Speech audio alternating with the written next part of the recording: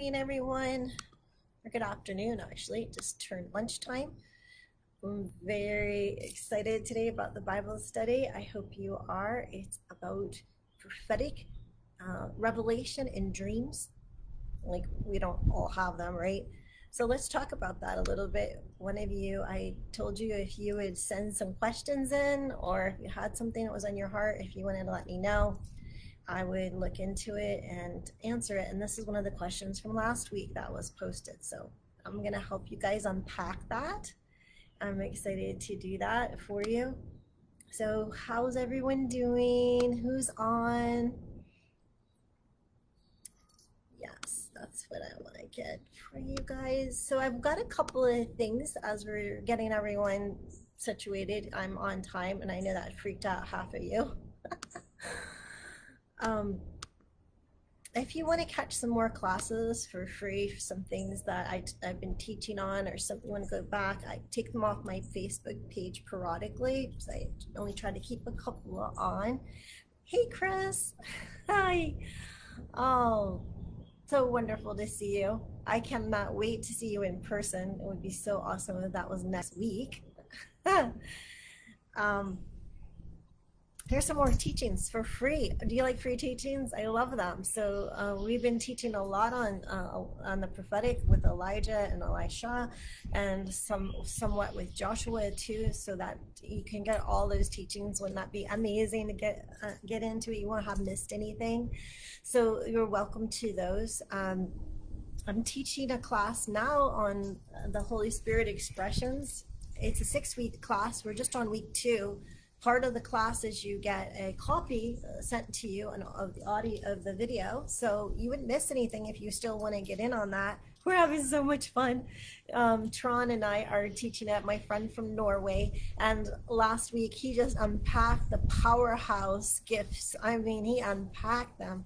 He told us story after story I mean, there's at least an hour of testimonies um, from raising the dead off the street. Come on. so it was incredible. So uh, if you would like to get in on Holy Spirit expressions, you still have time. We're very excited about that class. We're already talking about, you know, uh, doing another cycle and bringing it even deeper because there's so much to talk about on this uh, subject. So if you're interested, please let me know by uh, dropping me a note. So I'm going to be starting my new cycle of classes for everyone. They'll run around five to six weeks. Usually, if it's six weeks, it's because an impartation is with it.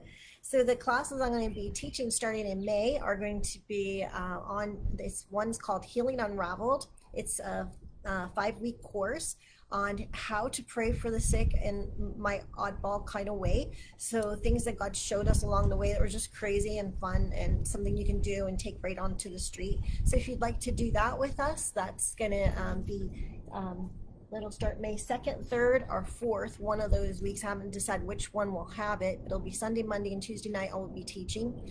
And um, one will be spiritual authority because that was so cool. And we brought that up to another level. It's a, it's a four week class. It might be a five before I'm finished with it.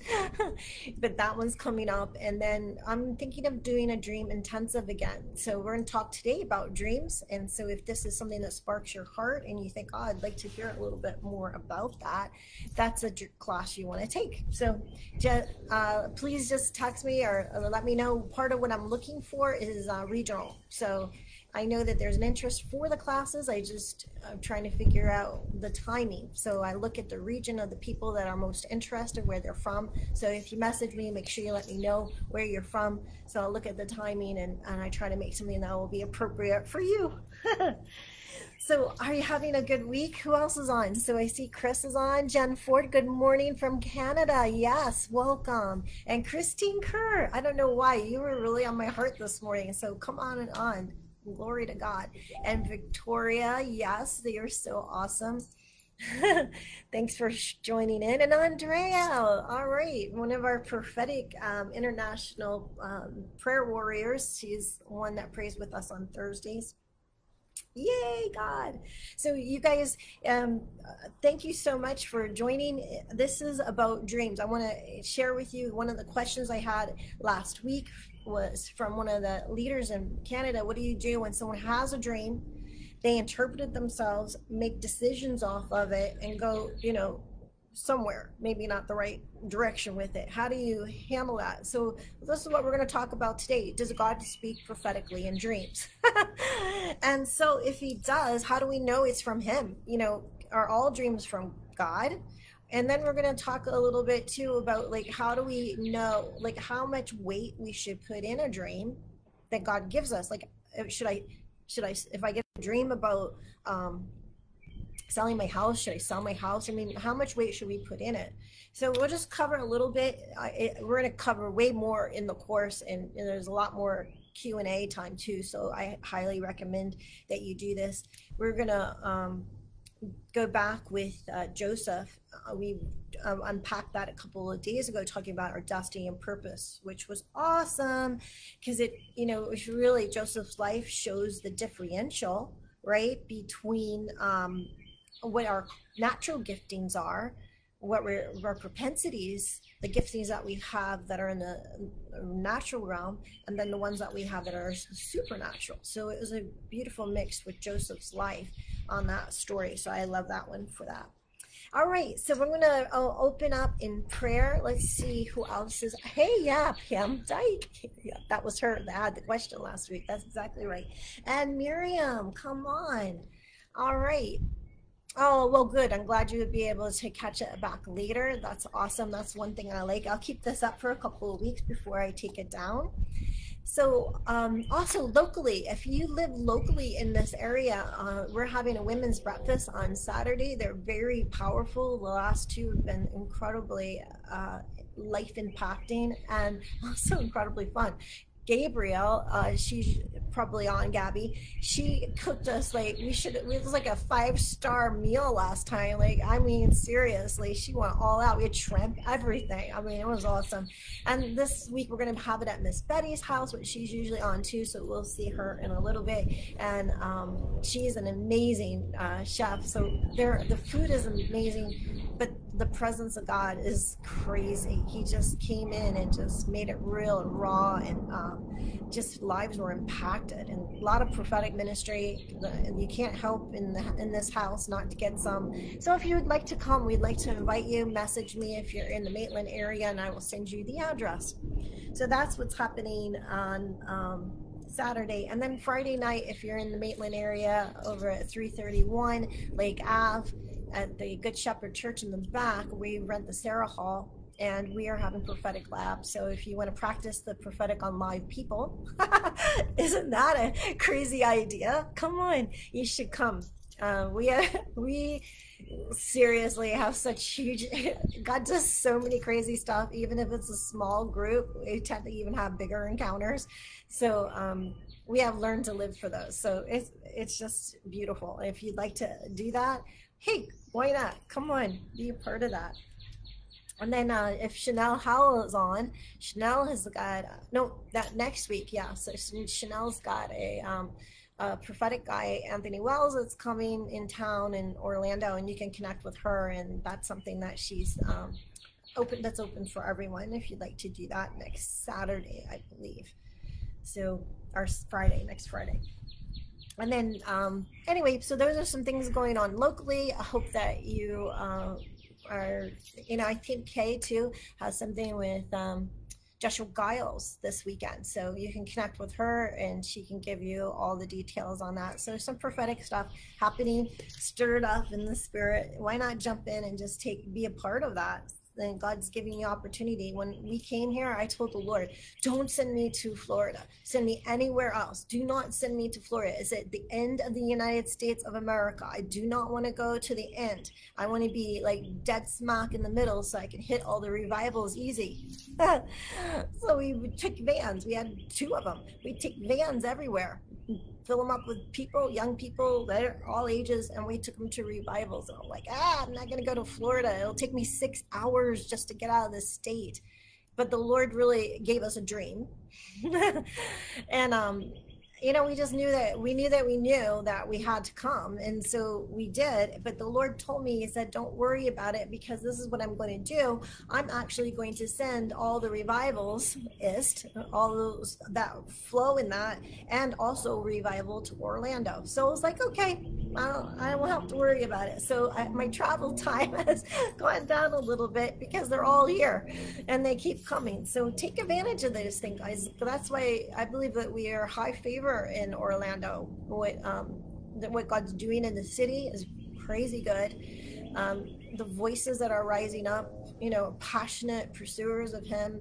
I mean, it's just amazing what God is doing, and um, this city will be known. This city will this city will be a city of revival, but it will be known as light in the world. So super love Orlando. So I'm blessed that we were here. Anybody else? Yeah, I see the fire of God coming up. Come on. it's good to be part of the plan. We got in, right? All right, so let's talk a little bit about uh, a dream. So you have a dream and you're wondering, you know, is this a God dream? Is this from the Lord? Okay, so not every dream is going to be from the Lord. There are some dreams, we call them soul dreams. Now, soul dreams are um, hard to discern from a, a God dream for some people because the soul is what you long for. It's the longings of your soul.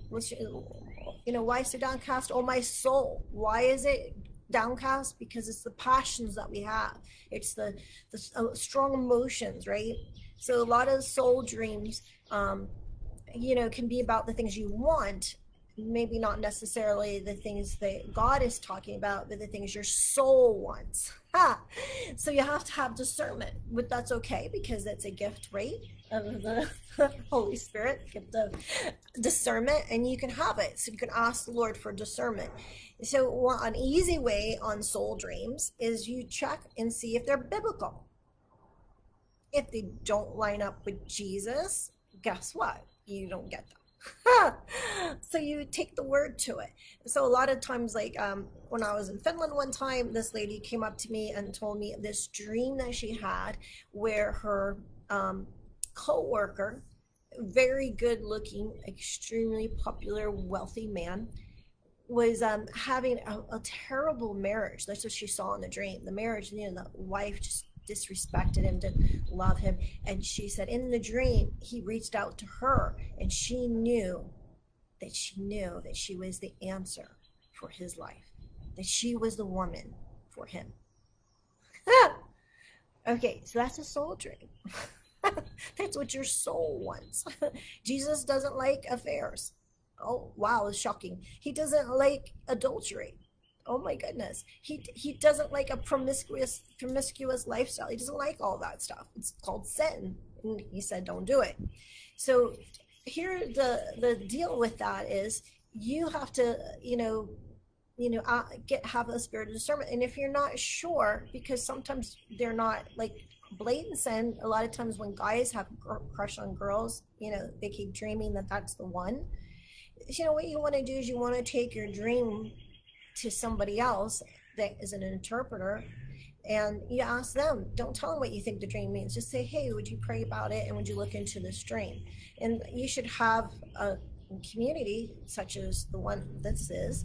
Uh, john paul jackson trained us my husband and i we are um, we went all the way up to the ranks until we trained the teachers so that's not something that we we live with, and we develop community on that, and then we continue to teach on that. And so then we have students that grow up and they're in it, and they're doing a great job, and they're interpreting dreams. And it's a process. So you, it's good to interpret dreams with each other so that you can help each other out on the parts that you know you, need shored up on. But so what I would do is if I had any type of dream, even like a dream that seems really good or whatever that's causing me to make a direction in my destiny or purpose, I'm always going to run that dream through someone else.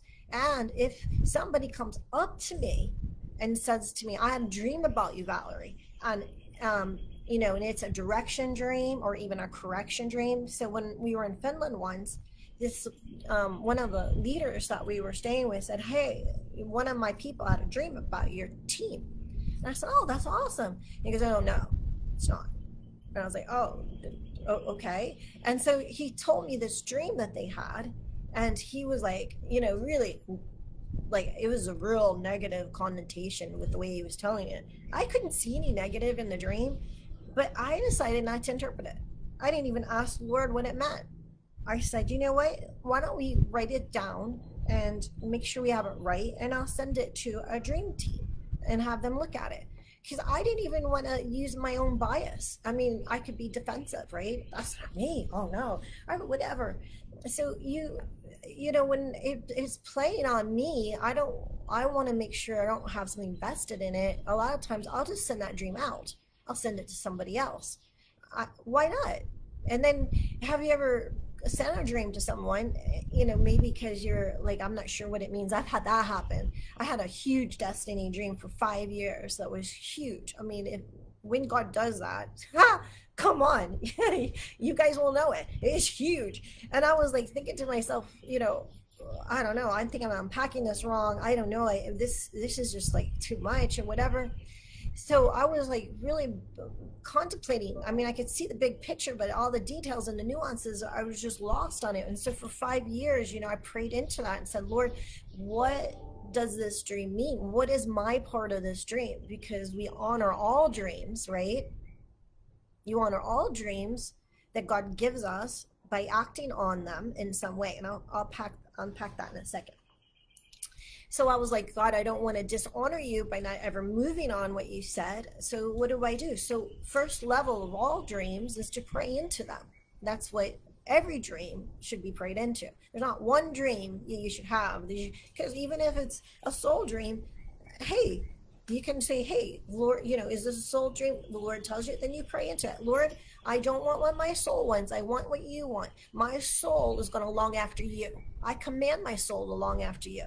So, Lord, take these things out of my soul and put into me those things that you want me to long for. See, that, that's something. That's me responding to a soul dream.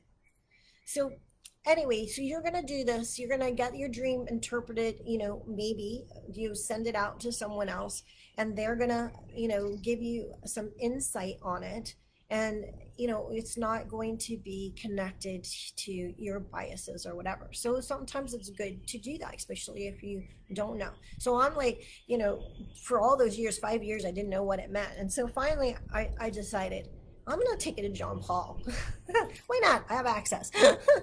So we were at a um, training a teacher's training thing and there was a line. So i got in the line and i was like uh, there was like 10 people in front of me and everybody was you know asking John Paul different questions and whatever. So I was like waiting for my turn. And I'm like, seriously, waited like nine people. And I'm now one person away from talking to him. And then while I'm standing there going over the dream in my head so I could say it correctly to him, it unpacks the entire dream, like no questions. It was the easiest dream to interpret on the planet. But for five years, I didn't know what it meant five years and i'm not like just meandering about it. I mean i'm on it because i don't want to miss what god wants to do. So i'm like what? So sometimes i believe god hides a meaning of a dream for a season. Then i also believe that sometimes you know we go and like i had taken that dream originally to a very high dream interpreter. Very high. And I, I mean i know. I've seen his track. I've seen him. He's extremely good and I he gave me the interpretation of the dream, and I thought to myself when he gave it, "This is bull." Sorry, I was like, "No way, this is not right," and I'm like, ah. But then I was like, oh, you know, you know, I didn't trust myself, so I went off of his revelation, and I just had a painful, I'm telling you, a painful a year or two. While I tried to do it the way he was unpacking it, but anyway, so but that, I like that about dreams is that actually we'll find out even as we read our story today is that you can tell when you, somebody unpacks a dream correctly or if they unpack it mostly correctly. That's not a word. That's not a right way to say it. Or if they're totally off. So sometimes that happens. You you know the it's almost right but not this one part and sometimes those things are hidden for a reason you know you might have to take the course to get into the details on why and how those things happen. So you've got your dream and you know finally it comes to pass. Well now you're accountable for what you know right? You're accountable for what you know. So i love what john paul jackson told us and it is one of my favorite things that i i always hold with dreams is that inherently in every dream that god gives us is the power to bring about change in the things he's speaking about that's beautiful if you knew the weight of that, friends. Wow. If you knew the weight of that. That means that God's never talking to you in a dream about something that He's not willing to work on, move on, and begin to use. And He gave you the dream because there's something inside of you, friend, that will bring that about. Because otherwise, it would have given it to me. But He gave it to you. Because there's something in you that's going to unlock this. Isn't that awesome? So I love that. Then I've had a couple of dreams. In the dream, the Lord or an angel or someone in authority will come and tell me. One of them was um, a woman in authority came up to me and and said, "Do you see all this land?" And I'm looking at this huge amount of land, lakes and mountains and rolling hills. It was gorgeous. And I said, "Yes." And she said, "Will you release the glory in the land?" I remember even in the dream thinking, oh my goodness, if she asked me to do it, it means I can. See, there's inherent power in what you're dreaming about. And so there's then there's a responsibility. What happens if I never lose the glory in the land because I thought it was a cute dream? Because I thought I don't know how to do that. Because whatever, whatever reasons that you you can just stack them all up. You're accountable for what you know and so that's part of um, dreams is they're not complete revelation right they're hidden revelation they're symbolisms and symbols of things to come. Now you can have visions which are more accurate but i'm talking about dreams which you know you've got the flying um, gooses or you know you've got the disappearing people or you, you're flying off of mountains yourself. Those are symbols of things. I remember um, you know, one of my friends, eh, one of the people on leadership with me one time, you know, I was over the youth at the church, came up to me and said, Hey, I had a dream that these two young people were um, getting married. And I was like, Okay, well, you know that that's a symbol and it's not the truth. So you don't tell them that dream because you're going to mess with them. Don't do that. So of course she did, and it was horrible reaction stuff. I, you know, I had to really forgive this girl. She really uh, put a wound in both of those people because of that. So, and then the same with death. A lot of times when people are dying in a dream, God doesn't see death like we see it, but the death dying in the dream is usually something coming to an end, and it often, often is very good. And one girl I remember came, she was a teenage girl she uh, had this dream that her dad died. He was in the class with me teaching. like, how, there you go, right there, uh, right out there. And, um, you know, we interpreted the dream for her, and it was about a, um, a problem in their relationship that was dying and going to be dead and not come back again. Isn't that awesome? But you know freaked her out. So and i've seen that with tons of parts. So it's good to have other it's good to have friends that are dream interpreters and it's good to learn this for yourself so that you can help other people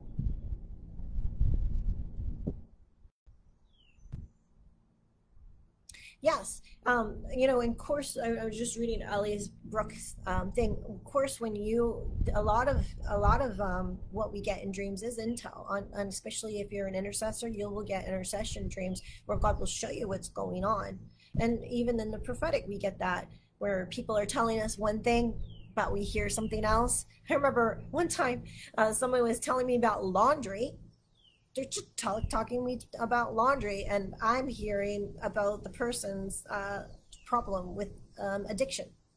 And i know exactly what the addiction was but they're talking about laundry. But that's the holy spirit. So anyway that's how the dreams go. I mean there's all kinds of dreams. We can unpack that more so if you when you take the course we'll unpack the different types of dreams and also the different types of responses. But I thought um, would be really good just to look at this one with um, Joseph so you could see what I'm talking about in terms of our why how what god's doing with the dreams why they're important. Let's just look at the story again. So this is pharaoh's dream. And you can find it in genesis chapter 41 and we're going to be out of the new king james version just because i like to change it up on you guys so then it came to pass at the end of the full of two full years that pharaoh had a dream so that full, that was um, you know joseph in prison for these two years and behold, he stood at the river, and suddenly there came out of the river seven cows looking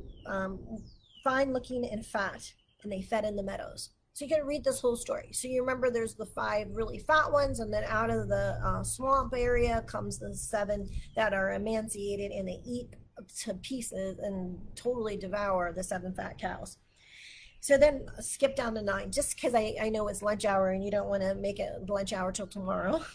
When the chief butler spoke to Pharaoh, saying, I remember my faults this day, and then he confesses that he had gotten his dream interpreted by this guy because Pharaoh can't find anyone in the courts, any of his wise men. He called all of his wise men, all of his magicians, and said, Can you interpret this dream? Because I feel like it's really important, these dreams. And they none of them could. And so now the um, the the wine taster remembers Joseph and his promise.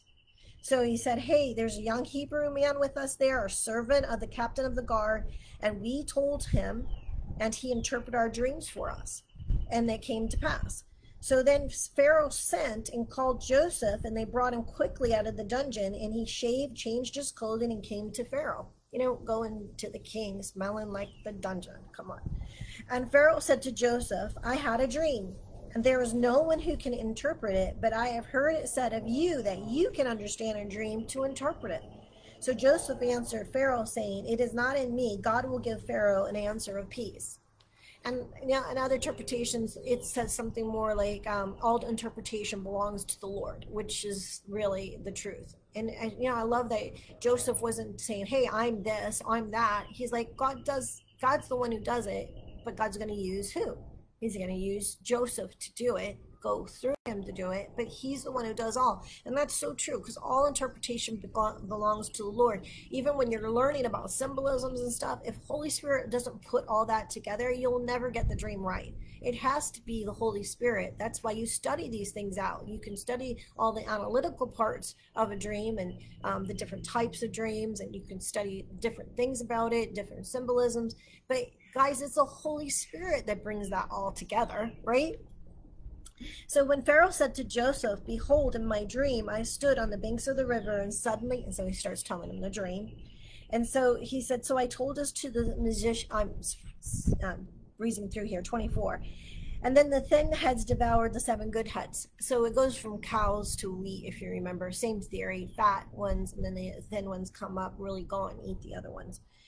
And he says, and so I told this to the magicians, but there was no one who could explain it to me. That's the wise men of the of Pharaoh's whole court, the, all the wise men of the court, and none of them, none of them can tell. So then Pharaoh said to Joseph, The dreams of Pharaoh are one. So both of these dreams, the cow dream and the wheat dream, they're all one. Because God has shown Pharaoh what he's about to do. The seven good cows are seven years. So then he interprets the dream. So, how do dream interpreters get their symbolism? use these ideas. we go through the Bible and look at every dream that was interpreted, and we take those concepts and those symbolisms and we start to meditate on them and put them together. So that's just a trick for you if you want to know how we get our stuff. So then the seventh and all right, so let's skip down. This is the thing that I have spoken to Pharaoh. God has shown Pharaoh what he's about to do. And see, that's why dreams can be prophetic because prophetic is speaking about the things that are going to happen in the future. So, can dreams be prophetic? Which is one of the questions we started out this broadcast with. And that's exactly right. They can. They can foretell the future. And God, in fact, likes to do that. And God wants to do that because He's extremely vested in your future, your destiny, your calling, and your purpose. And not just that, but in this regard, it was for all of Egypt and all the lands. This was this actually saved a multitude of people because this dream, seeing leaders often have dreams that are beyond self. When I was on staff at um, at this one church, I hardly ever told anyone my dreams except the people on staff because the dreams were so pointed about what was happening in the church, what was happening with the people in the church, what was happening with certain things, and they were always accurate. They they came to pass later. That's how I knew, and we were like, wow. And some of them were just horrific. I mean, I was like, what? You know, so God is vested. He's invested in you and part of the dreams is giving us that prophetic intel that we need. So i don't think that we can actually go one without the other. We need to we can't just say hey I, am not going to pay any attention to the dreams or i believe that we really suffer from the intel or the revelation that god's trying to give us. So indeed um, seven years of okay where i was i? So Indeed, seven years of great plenty will come throughout all the land of Egypt, but after them, seven years of famine of Egypt, and the famine will deplete the land. So the plenty will not be known in the land because the famine following it will be very severe. And the dream was repeated to Pharaoh. Come on, now here's some revelation. I'm about to tell you why you get repeated dreams. People asked me that last week uh, several times. Why am I having a dream over and over again? Sometimes it's because you didn't get it the first time, which is probably this is he's trying to show him two different ways the same thing. So sometimes you're getting the dream over and over again because you didn't get it. You're still pondering it. You don't understand it. So he'll come back. He'll say the same thing, but in a different way, but it's the same thing. And then here's the other one. And then the dream is repeated to Pharaoh twice because this thing is established by God and will shortly bring it to pass. Huh. So have you had that in a dream where God said it over and then over again? That means it's about to come to pass. Guys, that's a timer on your dream that you know that you're in a dream that God's about to fulfill this thing quickly. Isn't that crazy? Huh. I can think of one that I have, and I just, whoo, come on, Jesus. And so now, therefore, now this is what I'm telling you, you're accountable for what you know. You know, and we talked about this last week because the gift, the supernatural gift that Joseph had was interpreting dreams. That was a supernatural gift from God. He didn't wasn't ever taught that that or, or that studied it as a child. He knew. So John Paul was like that. John Paul Jackson but here, his natural gift is administration. We've seen that with um, how he was put over Potiphar's house, and then we saw that how he was put over the um, jail. So listen, that's his administrative is his natural gift, and God uses both of them in your life. They're both as super important. So here, look at what happens.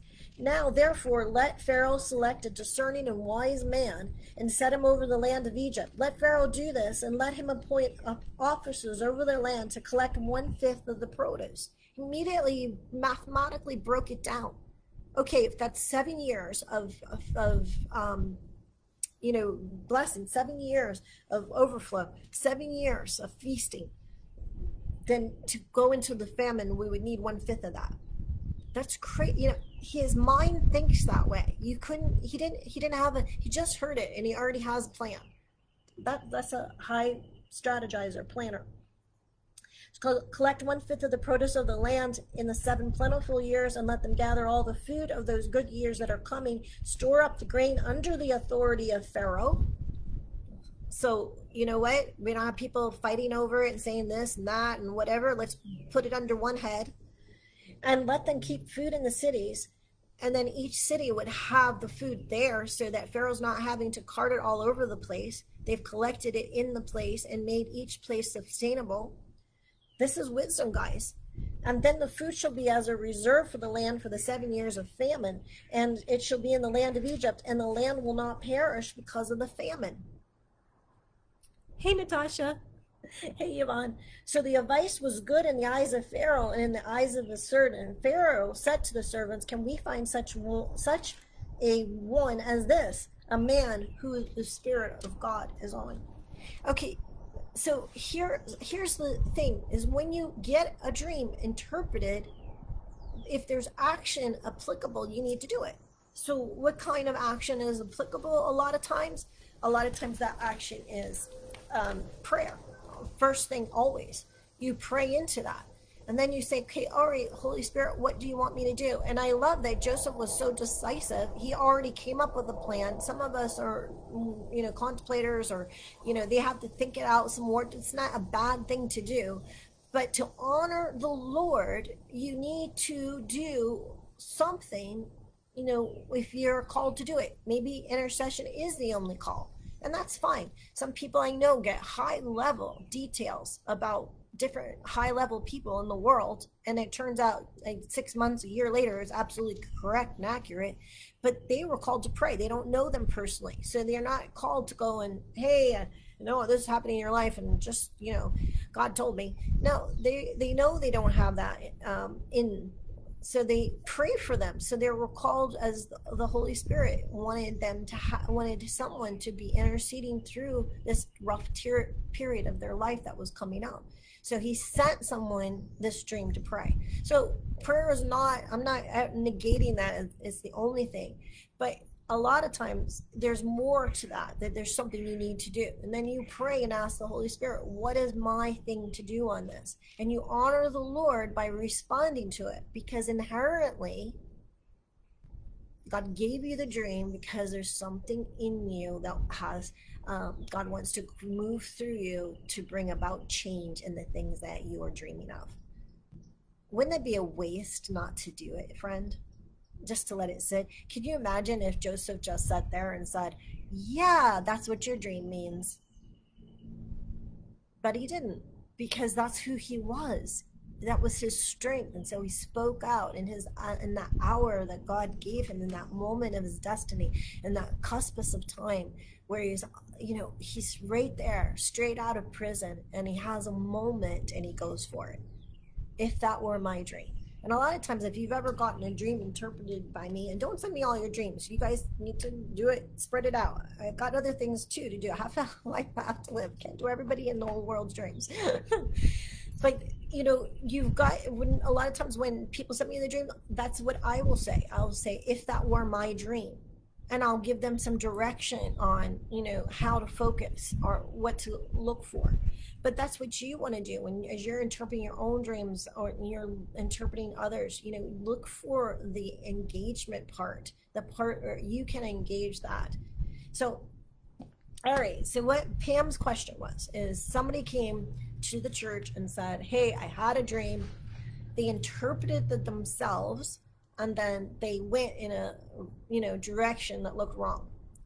So here's the deal is you know if you're in if you are interpret if you're get if you have any type of dream that's driving your direction to do something you know that's quite big like changing churches i think that was that or locations like where you move or your job or something it's always good to get a second opinion. Send it through someone else. why why not? The bible says that we um we're safe underneath the multiple counselors. You know send it to someone. Don't tell them what you think. Say hey would you look in this too? Would you pray into this with me so what I have seen too, one time this lady came to me and she said she had a dream, and in the dream she saw a national leader and she saw um, like somebody up on the stage with him doing some kind of you know incantations or something, and he never noticed it.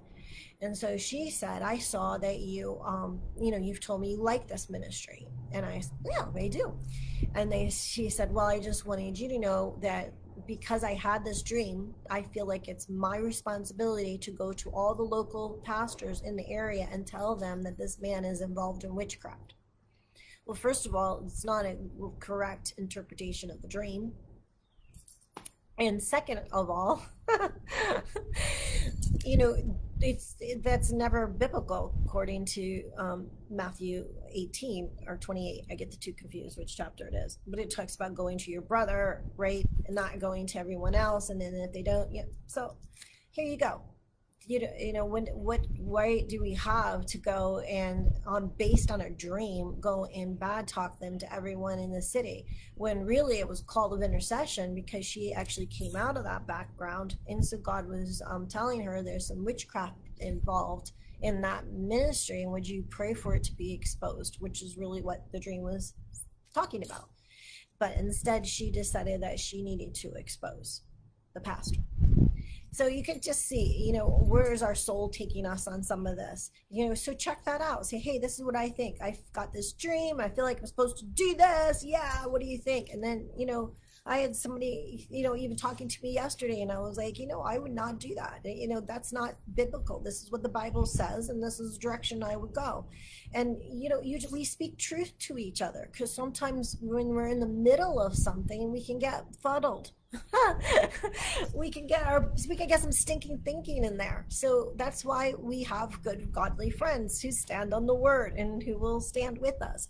And so that's how you do a, a, some of the dream interpretation that comes your way. I personally, when we moved down here, we had a dream about um, the church. And I mean, about coming to here to help with the church, but um, mostly to leave where we were living. And, um, you know, I had the dream. I knew it was um, ominous like I knew there was a feeling of danger with it, and I felt like there was like a flee, you know, factor. But I thought, no, I don't. That's silly, you know, just dreams, you know. And I had it interpreted, and it was you need to leave. and um, but I I also had to check up my I had a I had a, a, feeling in my spirit that it was right, and there were several other things that had happened prophetically that I just felt like it was right, and even though it wasn't something I wanted to do necessarily at all, is actually the house we left is still our all our, our whole family talks about it. That was our favorite house we've ever lived in. so you know, I think back to that and I, am like, I left in two weeks, packed everything up, and I just left because I heard the Lord on it and I had the confirmation and people that I trusted on the dream interpretation. I never telling them what I thought. That's what they thought the dream meant. And, you know, I saw the hand of the Lord, you know, leaving favor. There was less less favor. It was like lifting where I was at. And I needed to go into a place of land where I did have favor and I had his covering and protection. So we made that shift and it was exactly what it was all right. So I hope that helps you with dreams and um, this is a little bit. I know we were just topping the surface. There's so much more to it. And like I said, uh, in May, the, that first week, I'll do a dream intensive class. If you'd like to take it with us, we would love to have it, have you, and we can teach you some more. So did that help? Did you guys, did that give you some insight? I know a lot of you are dreamers because I've heard, I've heard some of your dreams. And Wow.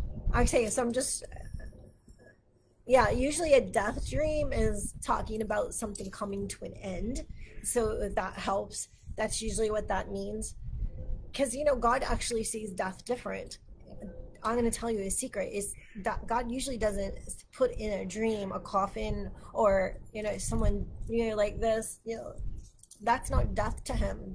He, he doesn't see it that way. It's a homecoming it's a celebration. That's how God sees death. it's a party. you know, it's the best thing yet. That's how he sees it. So it's just interesting on the symbolisms. Hey, Maria, welcome back from your honeymoon. It's so good to see you. Welcome. Hi, Carol. Good to see you.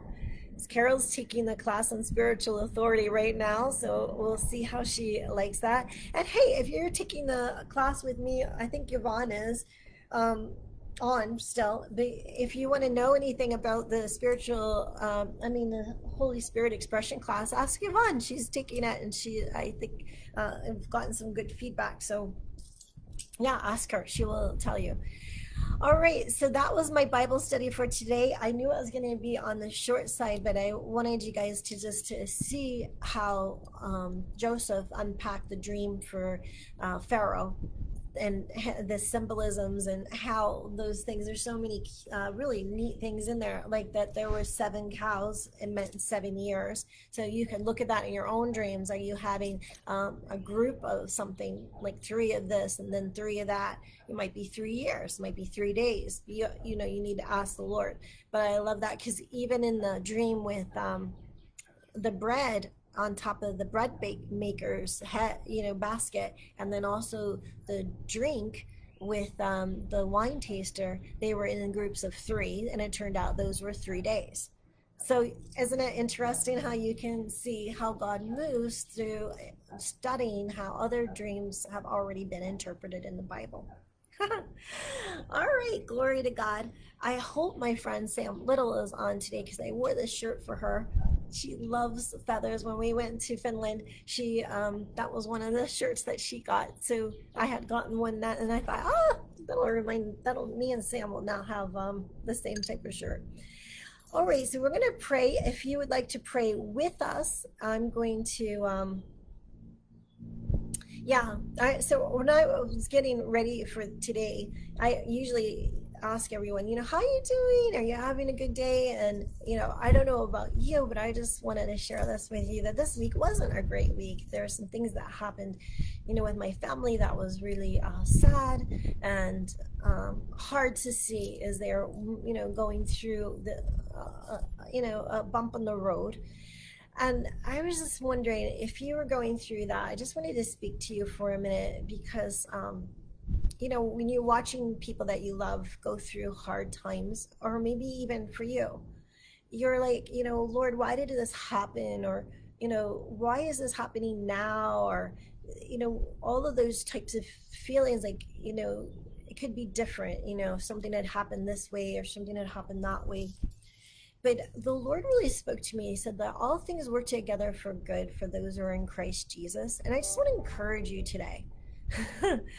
that you're in him. You're in him. You're you're called according to his purpose. You're going after him. And he is beautiful and brilliant at taking the things that come against you and making them turn around and work for you. And that's what god wants to do for you so I just want to encourage you. I felt like there were several people that were going through that this week, myself, besides myself, my family, but I felt that that was something for you. So I just pray for the ones, and if you guys will agree with me, for everyone who's listening today that's just had a really rough week, you know, things didn't go the way they were hoping things you know even maybe with themselves maybe they're disappointed with their reaction or something that they have done so god i just thank you father god that you work all things together, all things. And so if we sinned, we can repent and God forgets about it. So that's awesome. Yes. Or, you know, if we made just a mistake, how many of you just made plain out mistakes? I, I'm I've done at least one or two lately, you know.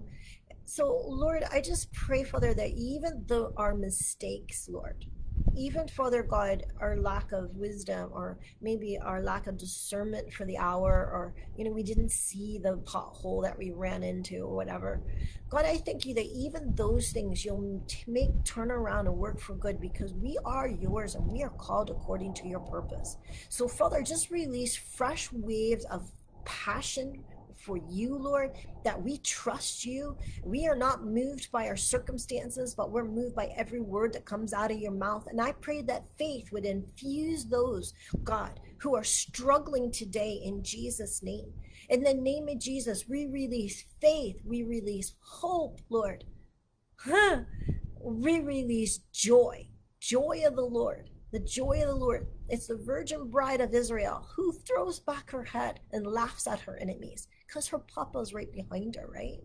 So, Lord, I just pray, Father God, right now for release of joy over everyone who's going through a difficult circumstance. And I thank you, Father, that joy comes in the morning. Come on, it's just another day. And while I was praying for everyone today, too, I just saw suddenlies being released. So I, I just see that. So I just want to release that to you. I just feel like there are circumstances and situations. I'm from Texas, and we have this thing that's called a bullwhip. You ever seen it?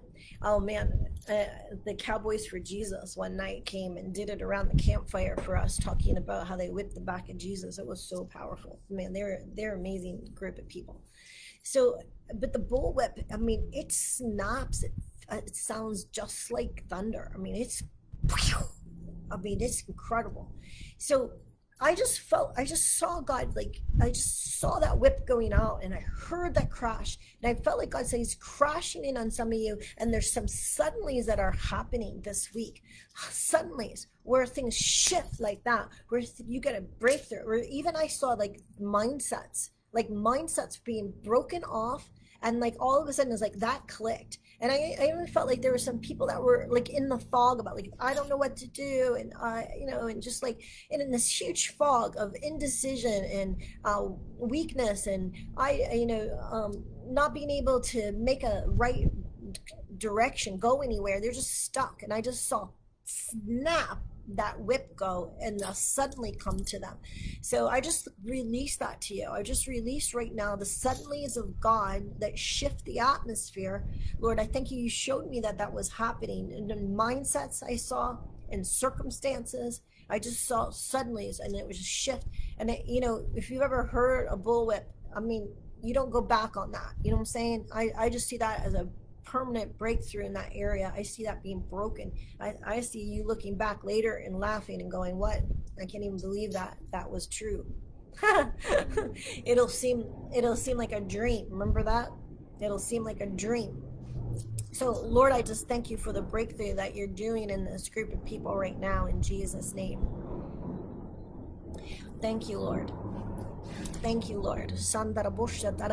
Want to stir up the prophetic right now. Sorry, it's stirred, but we'll go for it again.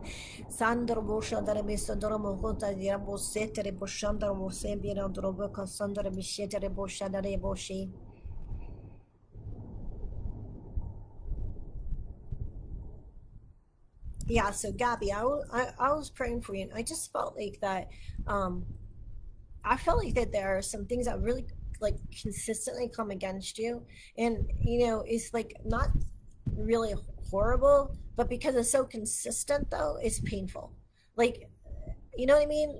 Like it builds up. And it's gotten to the point where it's very painful. But i just i just feel like there's a stop to that. I, I feel like that you know there's a holy indignation that rose up with the lord and he said no more. I'm done with that so I just I just see God putting a stop to it. And I, I just think that part of it has been your loving kindness. This is for Gabby.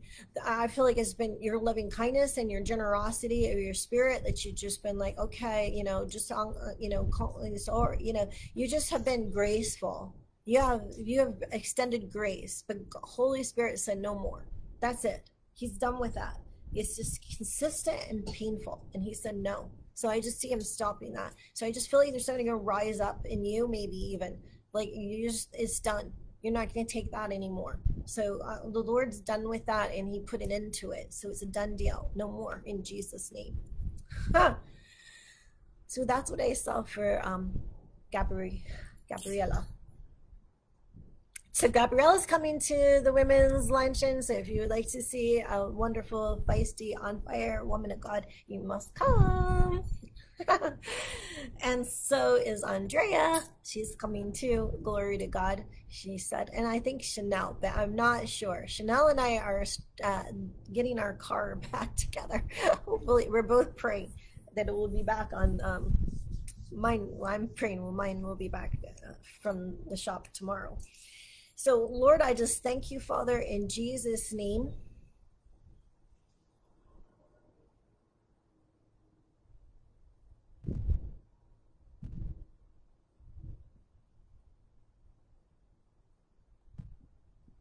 Yeah, so Chanel, I just felt like that in some ways you've had like some really childlike faith. Like you could have gotten like you know bogged down with some stuff but you've had some childlike faith. Like i'm just going to believe you no matter what jesus and i just trust you. And you know and just that you chose to be light when you could have been down. And i just saw that like that this is i just saw you like that turn into a butterfly. And i just felt like there's going to be a new beginning for you. And i'm not sure if it's over the things that um but I feel like that it's that there is a breakthrough for you that over some of the the stuff that's um, like I said the other thing with the I think you got one of those breakthroughs, but I feel like the new beginning it has to do also with um, a new beginning on your level of faith. I feel like that there's it's going to be like a whole new level, and you'll have a new beginning on that. Like you won one level, and now you get to level two or whatever level it is. I'm not numbering it, but you know when you're playing like Mario or something. You got to the next level. That's what I saw. But it'll be like a new beginning for you. So I feel like there's new things to learn on this. There's new ways to look at it, new ways to unpack it. And I feel like that's all going to be good. And you'll get to the, you'll master this level and then hopefully you'll go to the next level. So I just, I just what I see. It's a new beginning. So I would just come fresh on it. Say, Holy Spirit, teach me, you know, afresh. What is this new level of faith that you're giving me? There you go. That's for you, Chanel.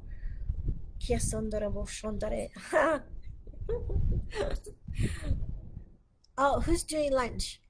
Oh, yeah, let's do brunch. Yeah, okay, that's us. Anne says she wants to do lunch. I do too, and we'll, I hope to be there before, before, before. Uh, well, I'm actually planning on coming in the fall, so I'm just believing God things to shift by then. So let's believe. So, Lord, I just thank you for Anne. Hungry Anne.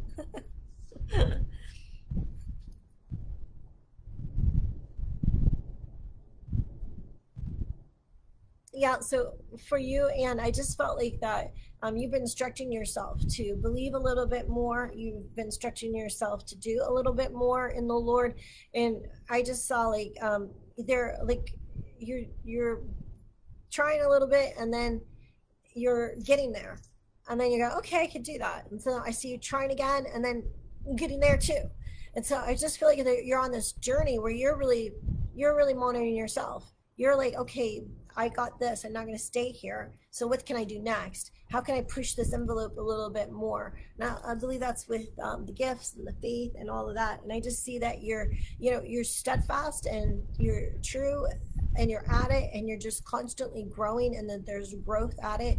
And you might feel like hey this is like uh, child's play. I feel like i'm just you know at the beginning but you really made quite a, a, a journey on this because you've been consistent and steadfast and God loves that about you. And I just see you just um, going and going and going and, and going down that road. So I, it's like a new adventure just around the corner. What became like, well, can I do it? Now has become, you know, what will happen next? An anticipation of, okay, if I try this, I, I just feel like that faith cometh. I just feel like that there's something in you that every time you'd say, Hey, Lord, I'm going to try this, I'm going to stretch myself this way. Every time it happens, you're like, What? Then the next time is like, Of course he's going to do it. So now what do I do? Because I want to do more. So I just see this um, hunger coming up in you in this season and just um, a, a, real neat. Uh, back and forth with the Lord on going further and going deeper. Thank you, Jesus. Thank you, Lord.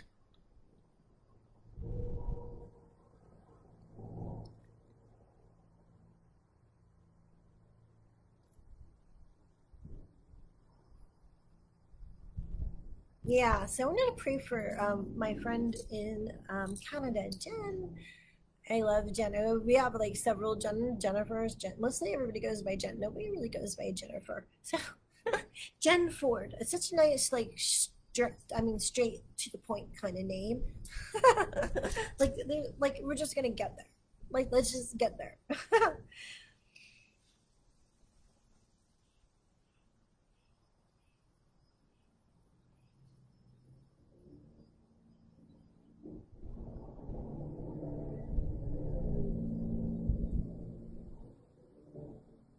yeah so i just felt like that there's something that you're building that you've been um, really put a lot of effort in, and it's you done. It's actually uh, something that has um, a spirit of excellence on it. Excellence on it.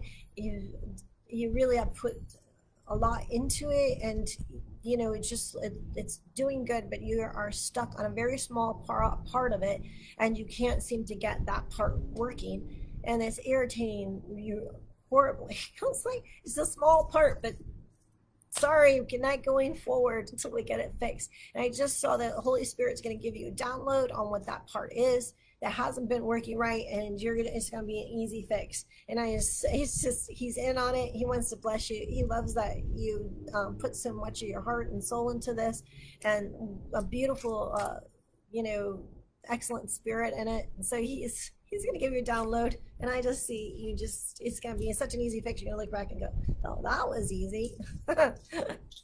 Glory to God.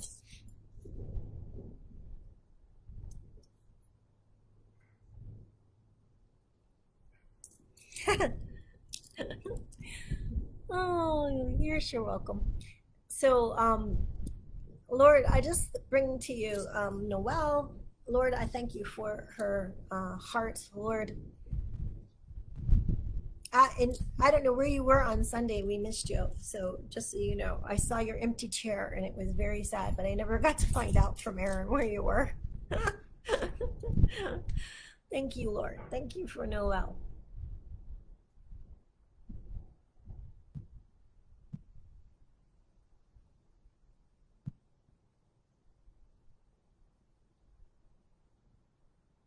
Yeah so noel i just felt like that um, there are some things in your heart that have especially with your mom that has been um, really like uh, made your heart sad and I, I see God wanting to do some healing, and I feel like in this next season, even like now, that He's going to do some healing of your heart. That um, there's some things there that um, that they really went he like i don't know it's just like i feel like there's a crawl up and daddy type of thing where you put your arms around him and he just hugs and holds you for a little bit. I feel like that in your quiet time that's what you should invite holy spirit. He would like to do that with you. He'd like to um, bind up the brokenhearted. I mean i know it's been a while and you've gone on but i feel like that heart that sore heart feeling especially with your mom that's what i heard is something that he wants to heal up. I think he wants to give you some joy of heaven and replacement of the sorrow. And um, I also feel like, um, you know, there's just some issues there, like uh, with, you know, missing her and uh, feeling a loneliness and things like that, that he's going to feel. He's going to fill that place and he's going to heal that place. So let's just all pray for um, Noel right now. Um, her mom went on to be with the Lord last year. And if you've had that experience, I know you guys know what that's like. So, Father, we just pray for Noelle's heart, Father, as she's missing her mom. God, I pray, Father, that you would, I, I see that, Holy Spirit, that you want to hug her heart to wholeness again. So, Lord, would you pour into Noelle's heart, Lord, just a fullness of your love, a fullness of your of your kindness give her pictures of heaven lord. Let her see her mom in in your arms your mom running in heaven picking flowers lord. Let her see what heaven's like. Lord give her her joy lord. Give her her joy lord. Father you said that you give us peace that the world can't even understand and i believe your joy is the same. So would you come and give her joy unspeakable? What would that look like?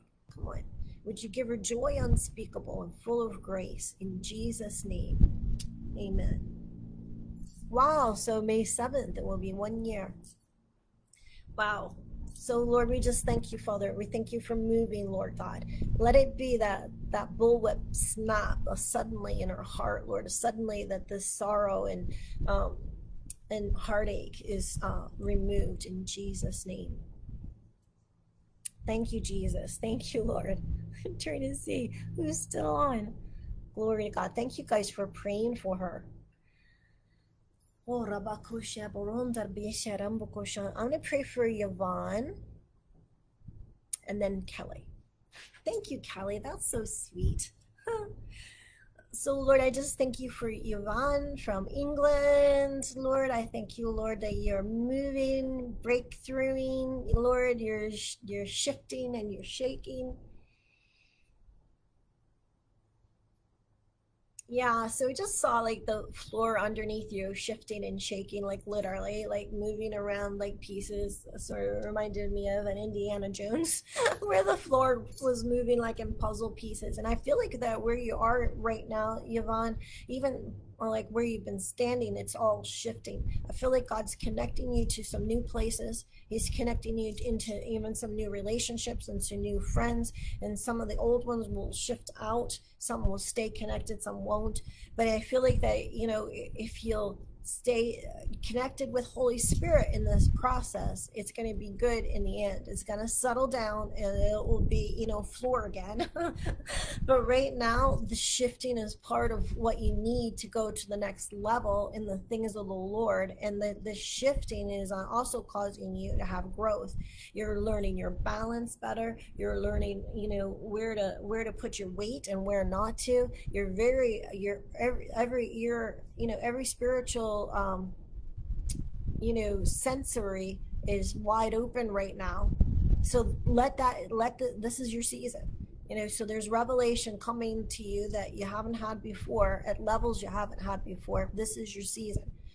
Every we don't stay in seasons. Seasons come and seasons go but this is your season. So i just bless you to that yvonne uh, just a peace in this and an attentiveness to the spirit at the same time. I don't know how you're going to do that but i believe it can happen. So i bless you to that and i bless you to your godly connections. I bless them they're they're right and they're good and they're um, they're helping you and they're solidifying the future for you in jesus name. It's just beautiful and um, the passion i was reading about how he comes before us and he makes a way but then he comes behind us to make sure that the past cannot harm us. That's what it says in the passion.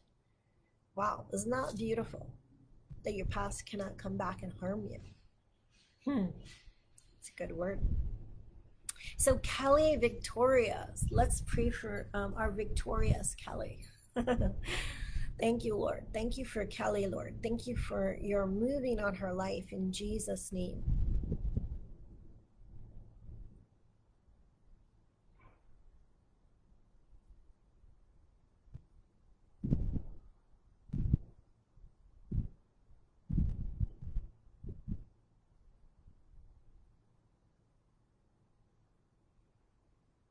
yeah i just see like um I just see in this process of like layering some things that I wouldn't normally would think would go together.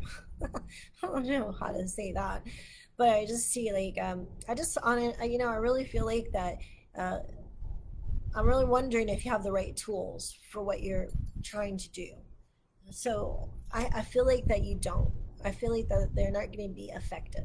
So I just think that God wants to give you wisdom on the right tools to do the thing you've called to do to do the things you're that you're longing to do i think you need you need the right tools to do it. Mean, you have good tools and they're like powerful like they're good but they're not the right ones for the um for the thing that you're working on. So father i just pray in the name of jesus that you would give wisdom to kelly to see the right tools she needs in this season and god that you would give her hand the ability to grasp them. God, I thank you, Father God, that you're the one who teaches our hands to war. You're the one who teaches our hands to work. You're the one who teaches our hands to move. God, you're the one. So, Lord, we give you Kelly's hands and we ask you to fill them with the right tools for this hour in Jesus' name. And we bless her, Lord. We bless her to the spirit of discernment so she doesn't waste her time, but God, that she has fun in the process. So I thank you, Father God, for the right tools. Wow. Uh, one time, Greg bought me these really nice knives. And like, I have been, like, I'm an avid uh, cook all my whole life. I actually wanted to go to culinary arts school in the beginning. Didn't work out, but I was really contemplating it, you know, and I took a bunch of classes in high school trying to get in that direction. But I just had normal knives until one day Greg bought me a professional knife. I cut my hand on both sides of that knife. there was a little bit of blood on all the food for several weeks. Sorry, guys. but I love that knife. I never knew a knife could be that sharp. I never knew it could do that well. I mean, cuts that I tried to do that I couldn't. I mean, they are now flaying things and deboning things like butter. Wow So, Kelly, you're going to love the new tool. It's going to do so much more than you could ever hope or ask for. You're going to be like, What have I waited for all my life? So, thank you, Lord, for giving her the right tools in Jesus' mighty name. oh, Lord, I don't know why you guys like my words. oh, all right. So, I'm looking to see um Prince Charles. What? Come on Indiana. I was looking to see what was on actually to see because I can tell some of you have gone, but not many. I mean, most of you are there, but I can't tell who's on because you haven't. Not everybody types, so you have to type and let me know you're there. You're welcome, Yvonne.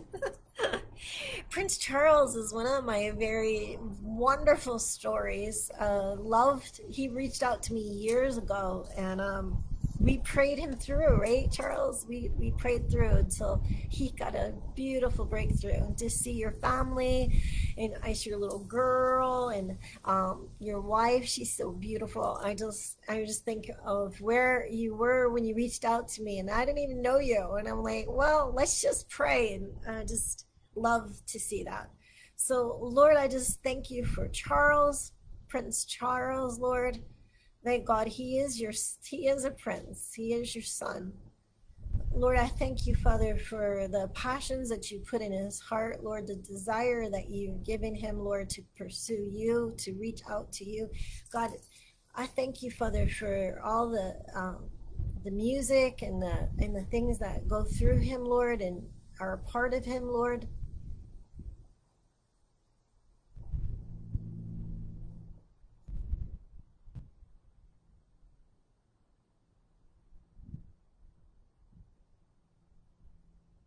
Yeah so um oh, sorry this is where i'm going. Prince I, charles i see that like there's uh, an attack that um, is you know imminent around you um, but you have authority over it. And uh, when i we have alligators i know you guys don't but it, that's what i see as it's a large attack so i saw the alligator with its mouth wide open and i saw you stuck a, uh, a stick in its mouth and jam the jaw open.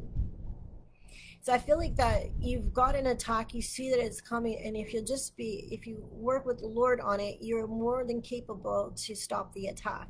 And I just saw that you put the stick in there and you just kept on, you know, moving around, doing what you were doing. You didn't even care it was there because you took care of it. So I feel like there's some spiritual authority that you have that you need to engage with you and the Lord, that you're going to stop this thing that's trying to come up against you. And it's not going to be able to even harm you or hurt others. It'll be, um, it'll be stilled and you'll be able to do what you were called to do because I believe it's in the area where you're called to be. You need to be there. So um, that's what I got for you. If I am going to be teaching a class on spiritual authority, if you need help with that, but you might not, you might have that down. And there's books and stuff. So um, Kenneth Hagin wrote a really good one. So anyway, that's what I would do. Take uh, your spiritual authority because you, my friend, were made to be in that space and this cannot push you out. So that's what I got for you. Very good, Chanel. Shut the mouth of the enemy. Glory to God. Where was that? Amen. Yana. I wanted to pray for Yana, my friend. so I just bless Yana in Jesus' name.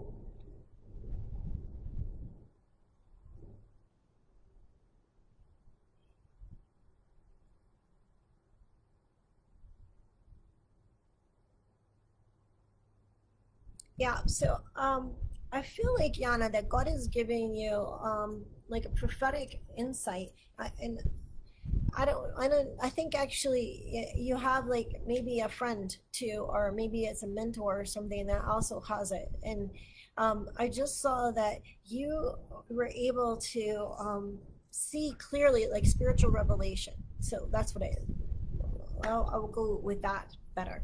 It's revelation in, in the spirit and um, I just saw that you were with another person that carried the same type of anointing on you, and I saw that you were able to, um, you know, you were able to bring that light and that wisdom you know, out out to the people. So I feel like that there's a call on your life, maybe with this friend, but someone like minded, that um, you're to release wisdom and spiritual revelation that you're called to do it. And if you do it, it will be embraced, people will receive it, and it'll bring life. That that is something, a gifting that God has given you. Just just this beautiful wisdom and spirit of revelation. So that's what I saw for you.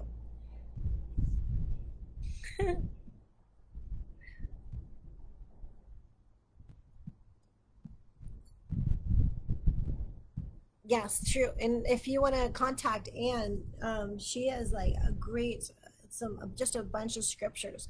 Uh, that's for Prince Charles on spiritual authority. So you can um, do that. And that was the book on Kenneth Hagin uh, on spirit. I, I just got it a few months ago and read it, so it was really good. So um, let's see.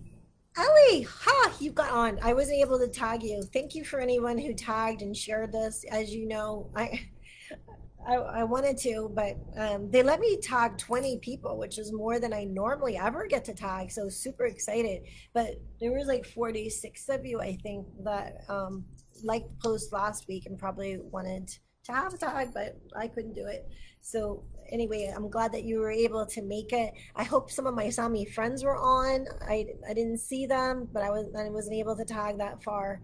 So nope, I don't see any Sami friends. But hopefully I'll be able to get to them later. Maybe they'll pick, be able to pick it up later. Yes, you're sure welcome, Prince Charles. So glad that you were able to stop by. So, Lord, I just thank you, Lord, for Ellie Brooks, Lord. I thank you, Father, for her life, Father. I pray in Jesus' name your kingdom would come, yes, and your will would be done.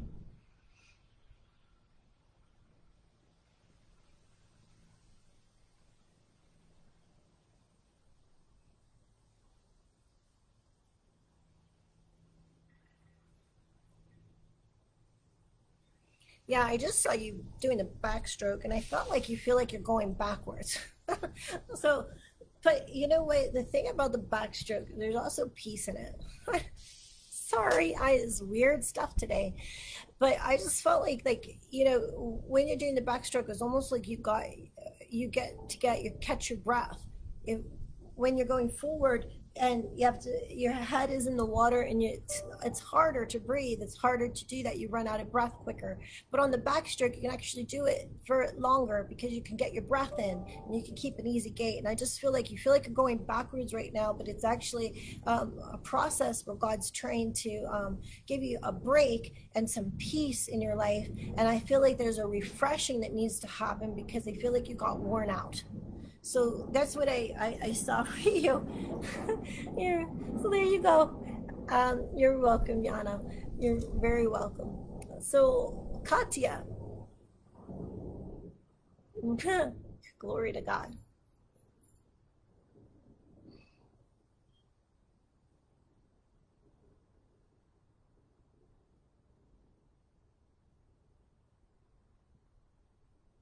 Yeah, so Katya, I felt like there was a platform that you really felt like was gonna, uh, you know, bring you forward, like really help you to go forward, and it, you know, disappointed you, and I saw it had broken.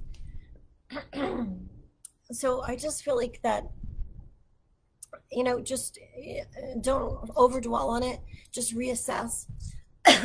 I feel like that the God has got another plan for you. That that one didn't have the strength to stand on. You know, I some of it I, I just felt like it had um, deteriorated.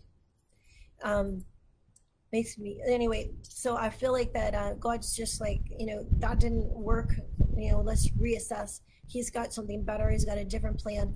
I love um, I love that sometimes his, you know, we feel like we're going after the Lord and and I felt like you did. You felt like you're going after the Lord. You were following His directions, and you know this didn't work out, but that's okay. It's all right. Sometimes we we prophesy in part, we see in part. Sometimes we mess it miss it a little bit, but it's all right because He's already got the next thing for you. What's going to help you? So, Father, in Jesus' name, I just pray for revelation and discernment for Katya on what will propel her, what she does need to go to that next level, what she does need to get her um, to go forward right now. In Jesus' name, I pray that you make it um, prevalent, yeah, and also um, like she would recognize it. And what I heard was the timing was off. So that's why it didn't work before. The timing was off. So you need the right timing. So Father, just pray right now for Katya that she would see the timings of the Lord and that she would know when her season of favor is to move forward on this in Jesus' name. Glory to God. All right. So you're welcome. You're welcome, Yana. Um, let's pray for uh, Samuel. So, Lord, I just thank you for Samuel. I thank you that you love Samuel, that you've got a plan for him, a beautiful one.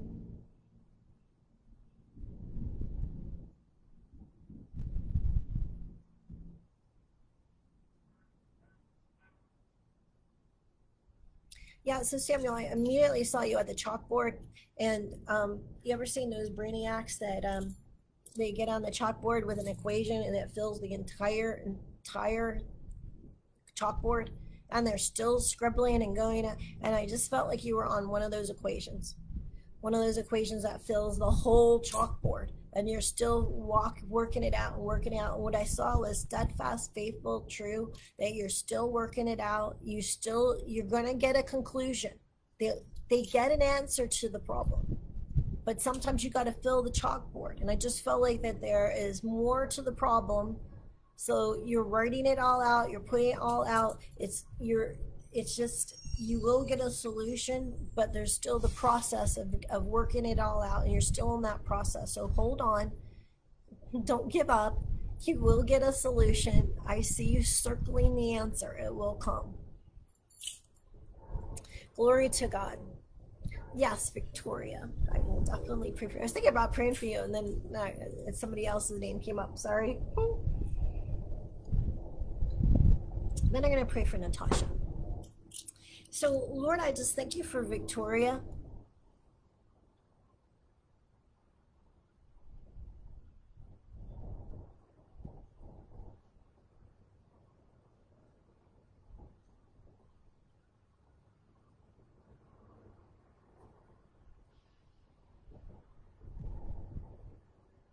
Yeah, so Victoria, I just saw you with a strawberry um, milkshake. and I just felt like the Lord was saying that, you know, you're that it's that you he likes you to have to take time out to do some things that you like to do. And that he wants to be that kind of blessing for you. And that it's okay to do that and to just say hey i'm going to do something fun. And it doesn't have to be spiritual. It doesn't have to be um, you know life changing but a strawberry milkshake on a warm sunny day especially but you know just something that you want to do so just you know take some time out and just do some things that are fun and i also think that are you and maybe a little childish to other people I don't know if um, milkshakes are that connotation in Norway, but you know, I just think you're you're allowed to, and he likes it when you do that. He likes it when you stop and have some fun with him, and he wants you to incorporate those things in your life. He wants you to enjoy this life. He wants you to have memories that you look back on, and you go, "That was fun. That was good. Those were some good times." Natasha. Simon. You know, I used to be a Simon. it wasn't spelled the same, but I did. I loved it because we used to play Simon Says, and I'd be like, wow, I get to be Simon. I bet you do too. so let's pray for Natasha.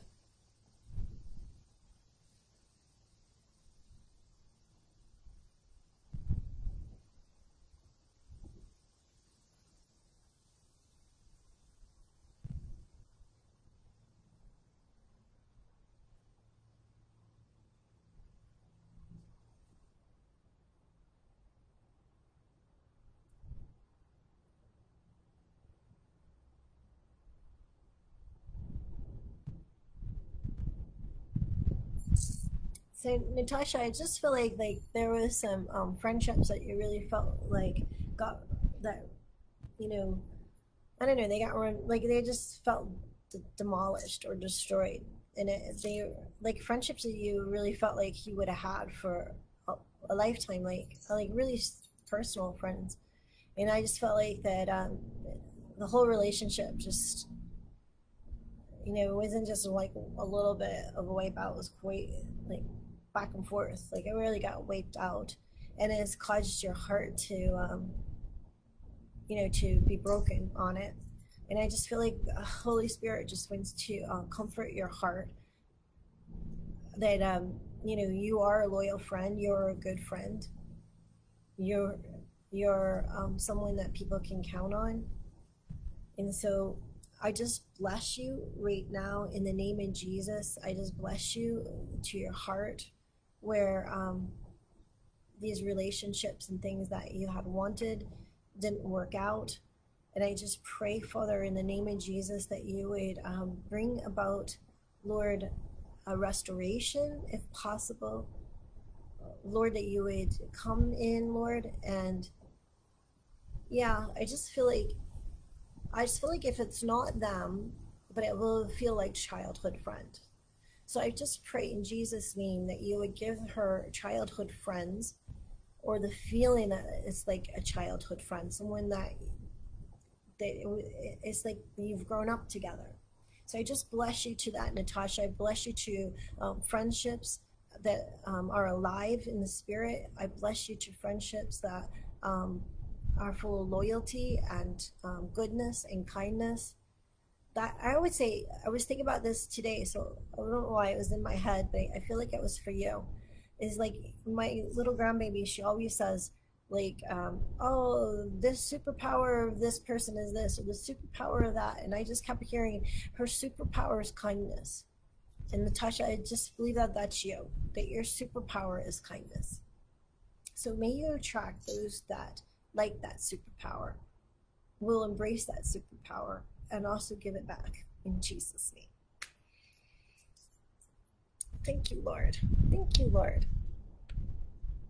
You guys, it was so great spending the afternoon with you and getting to talk to you about dreams. If you feel like this was helpful, please bless me by sharing it with somebody and or bless them by sharing it if you feel like it would um, be a blessing to them and help them. So many times people can get waylaid because they go the wrong direction with their dreams. So if you think this will be helpful you ever had a friend who just took a dream and went crazy on it then you know what i'm talking about right and um, if you if this is something that you're thinking to yourself hey i want to learn more about then make sure you message me. Oh hey, that's so god. Um make sure you message me. Natasha that's so good. thank you for sharing that so make sure you message me if you want to um, take any of the these classes that are coming up so I'll know because I'm trying to figure out what times to put it. So I'll try to make it at a time that'll work well for you if you let me know. So I'd love to um, do, do this journey with you. If you want to sow into this ministry, as always, very helpful and thank I'm super friendly, super super thankful as um, you know, we uh, when we get our opportunity to go, then there won't be any worrying about it. We'll just go. So God bless you guys. You guys have a great day. Thanks for hanging out with me. It was always an honor and a blessing. See you guys on lap tomorrow tomorrow night if you're in town. God bless. Bye.